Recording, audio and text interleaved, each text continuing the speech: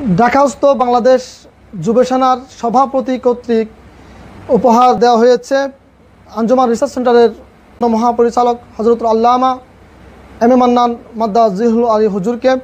যে কিতাবগুলো খুবই প্রয়োজনীয় এবং দুর্লভ হুজুর আপনাদেরকে দেখাচ্ছেন।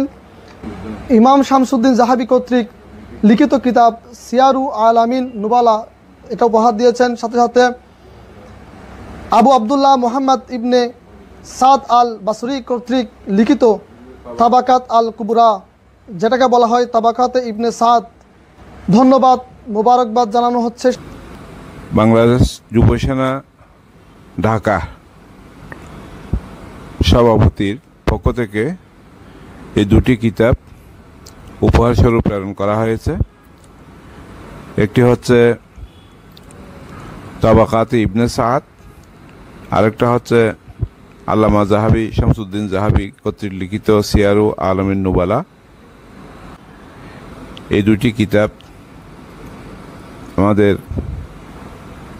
লাইব্রেরিকে সমৃদ্ধ করেছে এবং রিসার্চ বা গবেষণার ক্ষেত্রে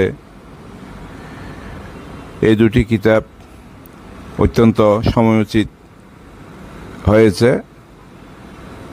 আমরা যারা এই দুটি কিতাব আমাদেরকে উপহার দিয়েছেন বাংলা যুব সেনার সভাপতি এবং তার সাথে যারা আছেন, সবাইকে আন্তরিক ধন্যবাদ এবং মুবারকবাদ জানাচ্ছি। সালাম আলাইকুম।